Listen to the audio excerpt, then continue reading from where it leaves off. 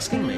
It's quite all right. Well, because I, I know you strangely mainly through your kind of magic Right. work, your Yeah. mentalism. Yeah. And it's only more recently through kind of ghost stories and I suppose was it Dead Set really that kind of thrust you into the mainstream? I don't know really. I mean, I guess a bit, a bit more. That was the first telly I'd done for ten years, because I'd. Um, I, you know, acting is my obsession, and that's my. I mean, I'm a bit obsessive anyway, but acting is the thing that has always been my number one drive. So, um, the magic thing was just a fantastic hobby that meant that I could make creative decisions as an actor and still earn a living doing this other stuff, you know, which was where the magic was. But in those 10 years, I did about 15 films, you know, that were. Some got released here, like Severance and um, Death at a Funeral, and then others just played festivals and did that sort of stuff, or got released in different countries. So, but Dead Set was certainly the first TV that I'd done for 10 years that seemed to sort of land, yeah. But acting was sort of always been your. That's always the number one, yeah. Did you go to drama school? Yeah, yeah, I went to Guildhall 1984 to 87. Oh, cool. Yeah. Right. So the the magic's just this brilliant hobby that even with all the Darren stuff, that was always in my head. You know, I was always saying to them, "This is just my hobby." I, you know, I so I would write the stuff, and then you know, Darren and I would work on it together, and then I, you know, go off and do a film or something, and then six weeks later I'd be back and we'd work on something else. You know, so it was it was brilliant. It's, but is it something? Have you dropped down the stuff you're doing with Darren now? I don't work with. I haven't worked with Darren for two years. Oh, really? So Enigma was the last show that I did with the last stage And show. so you directed that one? I wrote it with Darren, and we I directed it. Yeah. So up until that, up until Enigma. Darren and I wrote everything in that first decade that was on TV. A couple of other people dropped in and helped sometimes. And then the stage shows, the four stage shows, Darren and I wrote everything, and then I directed those four shows. So this tour that's out now is the first one that I have almost nothing to do with. Okay. Yeah. So uh, was that because you wanted to concentrate on other stuff? I, I just I've been saying or- for a couple of years, you know, I've sort of been saying for eight years, this is my acting is getting busier and busier, and it's it, it was always very lucky that everything just sort of fell into place dates wise, and it just got to the point after Enigma where it was I was so busy with the acting that there just there just and the writing with ghost stories and stuff that there just wasn't time, you know, and as that was and is my hobby, it just felt okay. Well, that's and also we've done a decade, you know, it's a long time. Mm. because didn't they ask you kind of pre Darren? Didn't they Yeah. ask you to do it? Yeah, they did. Is there ever a point where you kind of because Darren is so massive? There is not now. one. There has not been one second, not even a flicker of a second, that I've ever thought. Hmm, oh, because it's just not what I want. I mean, hmm. there's, there's o- the only thing that ever matters to me is being happy, and and the pursuit of happiness and acting. You know, aside from family, obviously, but acting is the thing that makes me truly happy. So, and you know, they offered it to me and offered me a very nice deal, and but I just no interest in it. And I suppose also because your heart wouldn't be in it like it is for Darren, it's it wouldn't have been so. there wouldn't have been the longevity that there's Yeah. been. Because I'd have done that first special for Channel 4, and then I would have been, okay, so Channel 4 films, can we talk to them? I've been on Channel 4 now. I mean, are there any films going on that I can be in? You know, that I would never, uh, you just would never have worked out the way it's worked out. And Darren's, you know, he's brilliant at what he does. So you're in Bath at Abigail's party. Yes. You play Lawrence. Yes, I do play Lawrence. Yeah, and is Yeah. it? Do you like it? I love it. It's, it's been absolutely brilliant. You know, the sh- the play is just amazing. It's a fantastic cast. I mean, I know every actor always seems to say that on jobs, but this is just a brilliant job. It's a very happy show. Um, we did it for six weeks at the Chocolate Factory in London, which is the most amazing theatre, and it just did incredible business. Lots of ice going on there at the moment. You can hear that. We're in a bar. Yeah, and um, and we're now going into the West End. So you know, we finish here on Saturday night, then we have two weeks off, and then we're doing 16 weeks at the Wyndham's Theatre, which is just amazing. It's the most beautiful theatre, and so it's been a brilliant. It's just a brilliant play to do. You know, Mike Leigh's writing is amazing. Lindsay Posner's direction's been brilliant. Mike Leigh's been in and worked with us a little bit, and it's it's been extraordinary. Great. So how far in? So how long was it at the chocolate factory? Six weeks. Six weeks. Uh, So, six weeks, I think seven weeks, something like that. yeah. okay. But then how far into that do you kind of know that oh it's going to go somewhere? Well, we knew it was going to Bath because Bath was a co-production, okay. so it was always That was always six there. weeks there and then a week in Bath, and then the show at the Chocolate Factory sold out properly. You can't get a ticket sold sold out in about a week before it had even opened. So how many seats is that? Like It's about 180 seat Okay. theatre. So it's a fairly intimate. It's a of- very intimate theatre, yeah. But nevertheless, you'd be surprised how hard it is to sell out any sort of venue, you know. Well, this was fantastic that it did this so quickly. And once the reviews came out, which were sort of universally excellent, there was immediate interest then for the West End. And so by the time we finished there at the Chocolate Factory, we knew we were going into the Wyndhams. So it was great. And it's the same cast and everything. Exactly the same well. cast, exactly the same production. Yeah. And then so because you'll be doing that every night Yeah. Mm-hmm. for, for 16 weeks. Is that kind of feels like a real job, you know, because you, you're going into work every day, Yeah. I suppose. And I suppose you did that with Ghost Stories for Yes. a year, didn't you? Uh, You I did over 500 performances of Ghost Stories. I did 13 months in the West End. Um, I had a couple of little tiny blocks off. But it is, but God, I just. It's amazing. It's an amazing thing to be doing. You know, an actor playing a lead in a West End show in a brilliant production. I mean, that 16 weeks will fly by because it's just such an exciting thing to do. I'm very passionate about it, very enthusiastic about it. I always have been. I just, I love what I do. Mm, I saw, I can't remember who it was, but they said some actors say how it gets boring after a certain amount of time, but then he was saying, you know, well, that's the job, you know, that's. Yeah. You're employed to go in and do the same thing, and there's actually a comfort in doing exactly the same thing every night. Yeah. But do you do you have to change it a bit, or Well, I don't. I mean, I don't find it boring because. Well, there are a few things really. The first is that you know there are lots of people who do boring jobs. Lots of people who are doing repetitive, boring work again and again and again and again. So, you know, to think that being an actor on stage every night doing the same part is boring, I never get that. I just think how lucky, how lucky I am to do it. But the other thing is, I, you know, this is where the, the fact I've done other jobs and magic and all of that stuff is. What that has always allowed me to do is to make artistic choices. So I only try and choose things that the role's a brilliant role. So there's enough there to keep you excited every night for 16 weeks.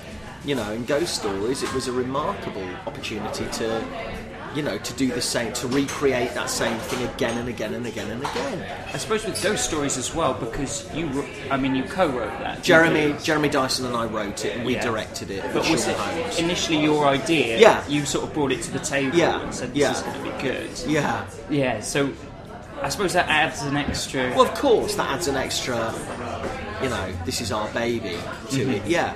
But I just think, you know, the, your job as an actor is to go out there and give exactly the same performance, deliver it every night, and yet keep it absolutely fresh and real and make it sound and feel like it's never been there before.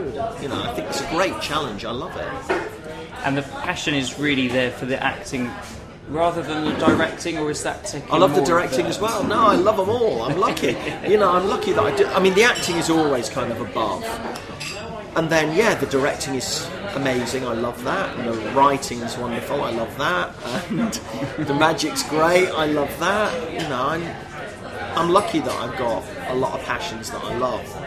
doing stuff that you enjoy Yeah. all the time. I Yeah, mean, I yeah. suppose that's the thing, isn't it? That if you are doing something that you love all the time, Yeah. it's, it's little to complain about. Yeah, yeah, there is. I think people complain a bit too easily. Um, so yeah, I try. I don't like. I don't like moaners. I don't like moaning. It's pointless. You know, just just change, keep it alive, and keep you know keep grateful for the fact that I get to do this stuff. You know, I love it. So with um, Ghost Stories, Yeah. is there? I mean, because it was a runaway success, really, wasn't it? I suppose Mm-hmm. it's you amazing. didn't envisage what a success it would be. No. I mean, I, I did think, you know, when Jeremy and I were talking about it, you know, I did say, look, I think that if we can deliver this, it could be a really exciting thing, and hopefully there are enough people as warped as you and I that would want to go see it, and thankfully there were and there are. You know, so no, I mean it's impossible to envisage it's going to run in the West End for over a year. I mean that's just you know, for a play with no big stars in it, that's really an extraordinary thing, you know. Um, but it was a huge success, yeah. I can't quite believe it really because it just sort of feels like our thing. doesn't quite seem real, and I suppose that because it was in your head for a long time Yeah. as well, to see it, uh, it must be a bit surreal. To see It is a bit alive. surreal. It is a bit surreal, yeah. And also, we were Jeremy and I were incredibly involved in every single step of how it was advertised, how it was marketed. You know, we were at all those meetings, and so we were involved in everything. It was a great learning curve as well. So do you? Is that something you want to do again? Sort of Yeah, or- I love it. Yeah. I'm a bit of a control freak, so yeah, I love it. You know, the first play that I did for 10 years, uh, I, I hadn't done one, I was just doing films, and, and I came back uh, to do a play at the Tricycle called Moonlight and Magnolias that was about David O. Selznick and how he wrote uh, Gone with the Wind with uh, two other fellas. And it was amazing because the guy is just was this extraordinary control freak beyond, you know, beyond. Con- he's the control freak's control freak. You know, it really was a, just an amazing, obsessive man. And there was almost nothing that came out of his mouth that I didn't agree with. You know, it felt so. I'm learning this stuff, and you know, were- he was getting laughs, but I thought this is true. I don't get it. Yeah. know. So it really felt like a perfect fit for me playing that role. But then after being such a well, because it was completely your thing, you had a lot of say over the direction of that. Going back to being directed, mm. is that okay? Is that fantastic. you just? It's, Yeah, it's the fantastic. pressure's off a bit. The pressure is off. It's fantastic as long as the person is good. When it's not good, it's frustrating, and you have to turn that other head off. You have to turn off because I've also, you know, I've done a lot of, you know, with the Darren stuff. I did ten years of edits, mm. sitting in edits, and so I'm fortunate. I've got this very wide breadth of experience, and but there are times, you know, when you just have to let them get on with it, let them do it. You just thing. worry about your part of it. Yeah. 'Cause it's, it's very concentrated. The, the bit that you're responsible for, I Yes. suppose. Yeah. it? So with. Uh, is there like a tour planned for Ghost Yeah, I think Ghost Story. I think Ghost Stories is touring. We're just waiting to get it all signed off. I think it starts touring January 2013, so next January. Okay. So it's going to do a tour. It opens in Moscow in August or October or something. Yeah, yeah. And interestingly, it's still set in England because the Russians don't believe that they have ghosts. They believe that England and Scotland has ghosts. So that's interesting. That's interesting. Yeah. Is that the same for the Can? Is it in Canada? The Canadian, no, it was in Canada. It was in was. Toronto for a while. No, that was set in Canada. So uh, we produced an international version of the script, which is um, because there were so many references to sort of everyday things for us. It makes no sense if someone's trying to get a phone call going "O2, why aren't you work?" You know, you need it to say in Rogers if they're in Canada or in Russia, Vodafone or whatever it'll be. You know. But no, the Canadian one was absolutely set. Okay, yeah. So, um, I suppose also you're gonna. You have to make the theatre look? Because when I saw it, it was all sort of. Um, yeah, We yeah. designed the theatre almost Yes. with all the stuff hanging up. Yeah. You do that all the way. Well, they, the yeah, yeah, we did in Toronto, and then I think this this is a slightly different thing now in Moscow. That's you know we've gone from being we are taking it and putting it in Toronto to people now sort of buying the rights to do it, and then they put it on and they get what's called the Bible, which is you know it shows them what to do, and then they do that, and then Jeremy and I would go over and oversee that, and our assistant director goes and helps them mount it. Okay. I suppose also in that one you are. I mean, you are an actor, but you are also addressing the theatre, aren't you? It was an odd. It was. It was a deceptively difficult performance. That really because you have to really set your in that show. You had to really set your ego aside because it wasn't. It had to feel like it wasn't a performance at all. You know, it just had to feel like. Just a le- and again, I'm being very cautious about what I say oh, because there will be people who won't have seen it, and fingers crossed we'll get the opportunity. And it's a show full of surprises, you know. But it feels certainly for the first 20, 15 minutes of the show that it's just a lecture, and you're just, you know, being talked to, and you're lulled into this world that is not the world that you end up in being in, you And it is strangely comforting as Yes. well. It's sort of Yeah, yeah. God, it was fun. I miss it. I miss doing it. I really do. It was such an adventure every night. But was it a character research or was it kind of you doing the lecture? No, uh, no, uh, that's a good question. No, it wasn't me. I mean, I, I try to make everything that I do feel as close to me as I can so that they just feel real. But, you know, it was clearly a lot of my knowledge, you know, mine and Jeremy's knowledge and stuff was in there. But no, it absolutely wasn't me, but but I tried to find a way that sort of just felt like it was, hey, it's me and I'm just talking, you know, until Yeah, yeah, exactly. Well, uh, knowing a bit from your background, because you were talking about, you know, ghost skeptic ideas. Yeah. You know, it was quite. It, did feel like for me that it that it was an element of you, but then Yes. I suppose that's. Uh, That's yeah. Well, clearly, you know, it was there was a lot of there is a lot of my knowledge and Jeremy's knowledge in there, and a lot of the things that interest us in there. So yeah, it is close to home. That's for sure. Mm-hmm. Yeah. yeah. I suppose those are the projects that you feel really strongly about because there's something. Yeah, well, with the Darren stuff as well, there were always agendas that Darren and I wanted to drive through under the drama of the magic that's going on. You know, we wanted to make our point about, you know, psychic belief systems and religious belief systems and superstition and homeopathy and all these all these things that were issues that we wanted to bring out, and rather than going, you know, no, no, no, you shouldn't believe that, that's rubbish, you know, you just, we found a different way of doing it, which was using that entertainment, you know, and it was there if you wanted it, and if you didn't want it, you could just enjoy the shows. Right, and I suppose it's almost the same with what you're doing now because it is a satire, isn't it? What we're talking about now, Abigail's Party. Abigail's Party. Yes, yeah, yeah. Because uh, do you kind of enjoy having the the agenda behind behind it? Yeah, I to- mean, I think that where Mike Leigh's writing is just amazing is that even though the show is 35 years old, it just feels utterly contemporary. If you strip away the sort of the sort of delicious joy of the cheesy 70s setting, there are still marriages that are as horribly dysfunctional and awkwardly embarrassing and abusive as these relationships that you spend two hours with are, you know, and that I think that's what makes the writing so good and so funny is that so many of those laughs, as well as the sort of Schadenfreude of seeing someone else go through it, is you recognise those bits in yourself of, God, I know. I know what I feel like when my wife is banging on about that, or I know she, but when I'm doing telling my funny story that she's heard a thousand times, and she's having a fake laugh. You know, I think it's you know you really see yourself in some of the characters. It's quite a. I mean, forgive me if I'm wrong, but it's quite a simple premise, isn't it? I mean, is Yeah. it in real time? Yes, it is real time. Yeah. Yeah, aside from the, the same- interval. Same Yeah. setting. Yeah. Is there.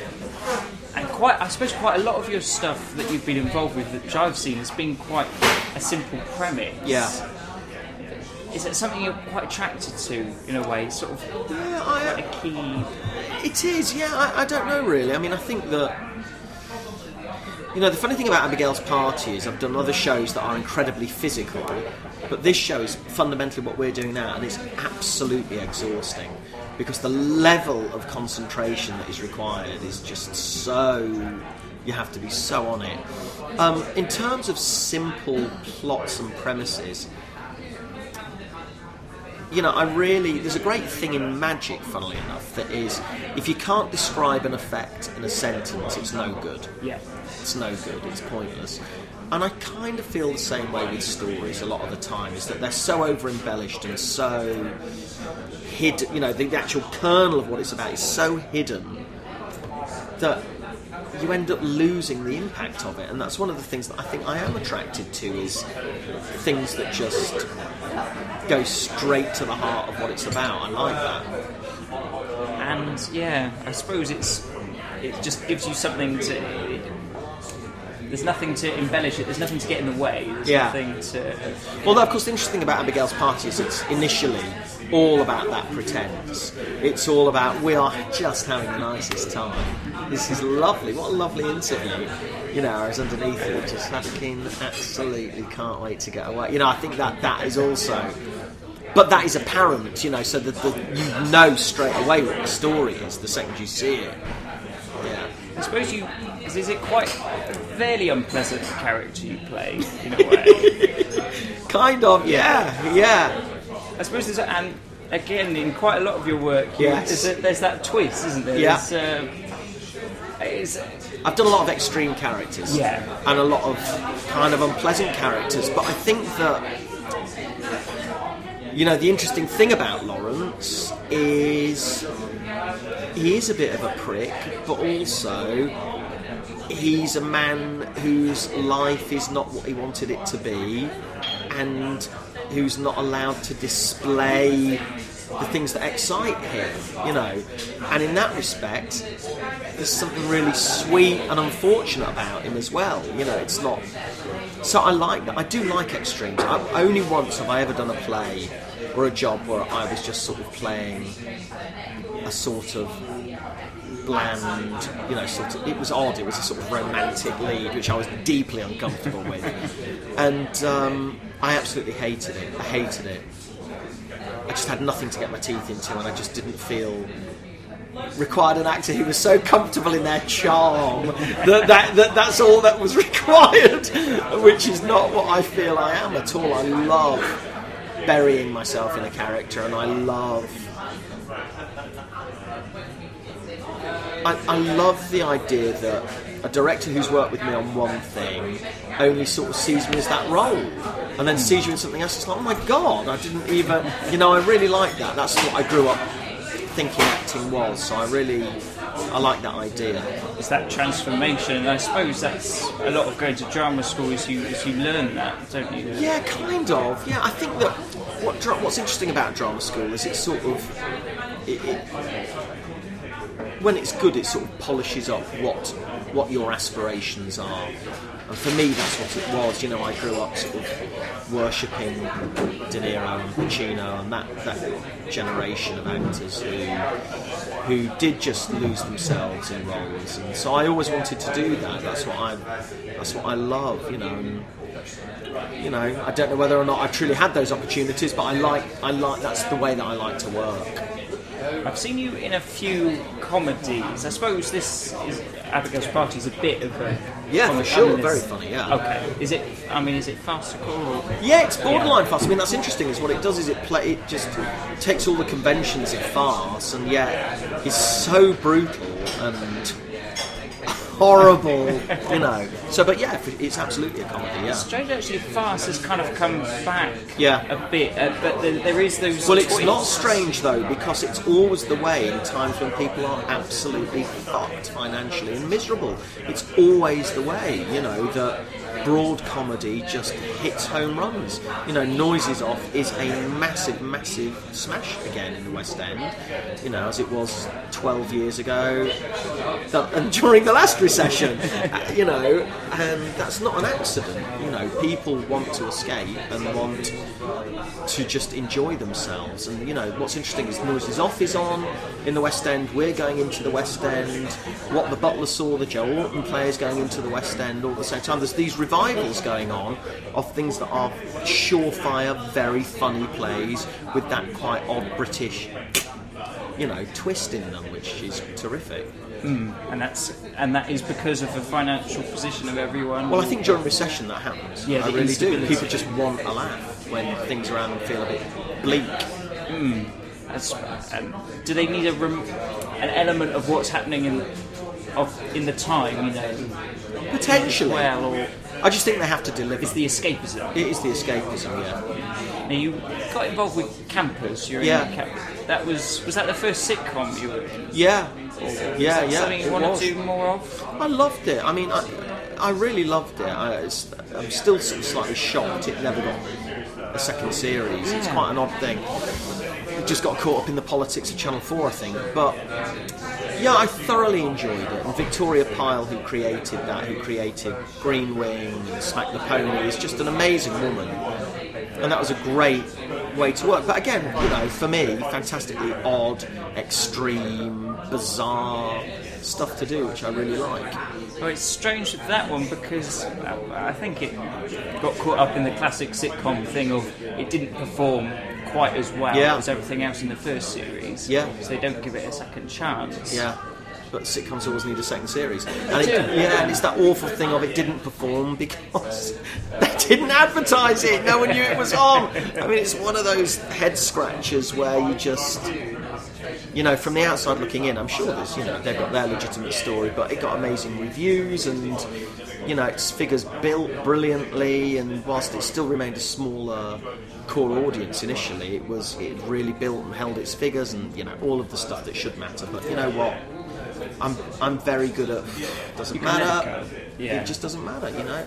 It's a good piece of work. A lot of people liked the show and loved it. Some people hated it. And life carries on. But it's frustrating for Channel 4 because uh, for me that's what Channel 4 should be about. Totally agree. Is that, you know, it might not have the hugest audience, Yeah. but But everything has changed. Everything has changed. You know, Channel 4 was about that when there were four channels. Yeah. There are now 300 channels, and all it's about is audience figures and percentage shares of that audience, you know. So everything else has changed. they need the figures, I suppose. And mm. yeah, and it's almost Sadly. after yeah. I mean, almost after one episode, it feels Yeah. like the fates the fates decided a bit. I mean, I don't know if there's any channels that Well, Sky is absolutely pouring money into comedy and drama and stuff. I mean, that it's sort of extraordinary to see it. I mean, they are just nurturing and nurturing and nurturing and nurturing talent, and I think that once they hit something that is an Inbetweeners or something, then it will suddenly become a major force as opposed to you know still a channel that's sort of on you know the biggest of those on the fringe of the channels, but it's only a matter of time because they are just commissioning so much work. It's amazing. there's a point actually. I mean, because they it never used to be the case. I don't It's think huge now. Just Huge. very recently, Yeah, yeah. they've they've decided to plough all this money into mm. it. I suppose it's something that the BBC can kind of learn from in a way. It's hard. It's hard because that you know. BBC is now accountable for every single penny it spends. So anyway, Yeah, Yeah. the additional pressure. Anyway, thanks very much. Oh, listen, us in this. thank you. It's Slightly nice to talk noisy. to you. It's all right. I hope you can kind of hear everything okay. Well. He's nodding. He's nodding and the thumbs are up. So yeah, Thanks very much. Thank you, and come to the Wyndham's Theatre, May the fifteenth till September the first to see Abigail's party. Not you, not every night. You have to come every night. yeah. yeah. Thank you.